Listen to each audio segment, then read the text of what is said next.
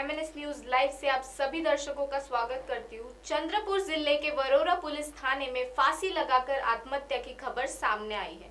सुरेश बाबुड़े नाम के इस पुलिस ऑफिसर ने आत्महत्या क्यों की, यह अभी तक पता नहीं लग पाया। चंद्रपुर के वरोरा पुलिस थाने के कर्मचारी गए कुछ दिनों से अनुपस्थित थे। शुक्रवार को वो अचानक काम पर आए। जहाँ शुक्रवार को सुबह पुलिस थाने में ही फांसी लगाकर आत्महत्या की।